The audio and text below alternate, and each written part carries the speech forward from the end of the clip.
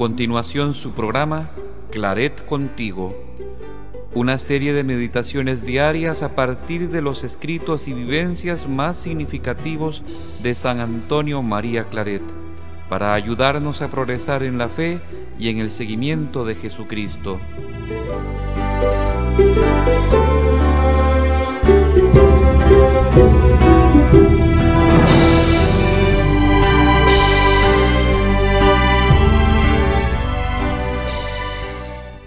La verdadera paz del corazón no se halla en el retiro o abstracción de las ocupaciones en que Dios quiere emplear a sus siervos. Cuando las ocupaciones vienen por conducto de la obediencia o del deber, no hay por qué temer. Ellas mismas nos conducen a Dios.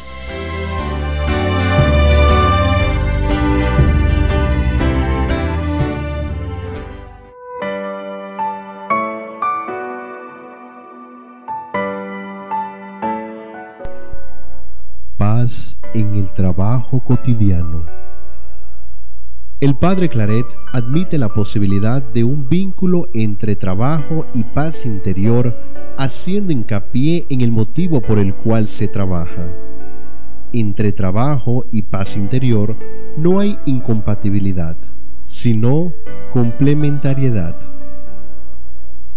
Reconociendo la importancia del silencio y retiro para la paz interior, sabe muy bien que el trabajo no tiene por qué impedirla Particularmente, el trabajo realizado en actitud de obediencia nunca dañará la sensibilidad espiritual de quien lo realiza.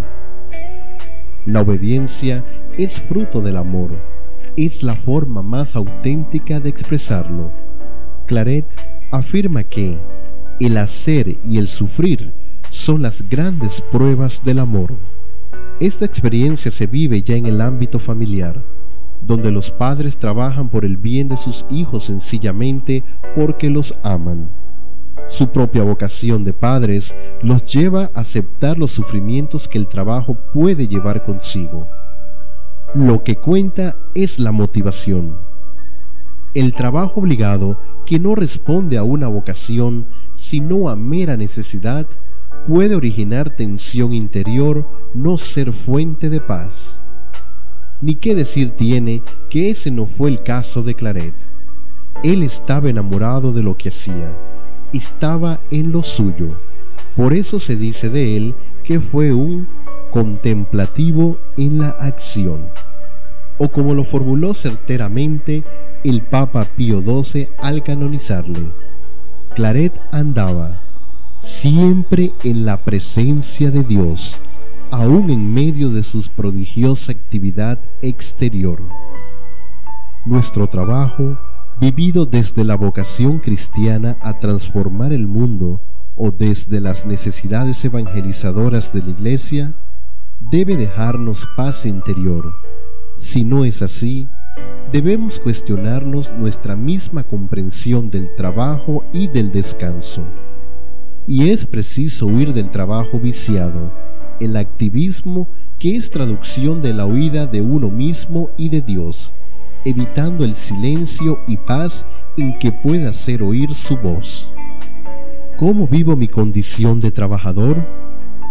Manifiesto en ella mi vocación de padre o madre de la familia y de miembro de la familia de Jesús.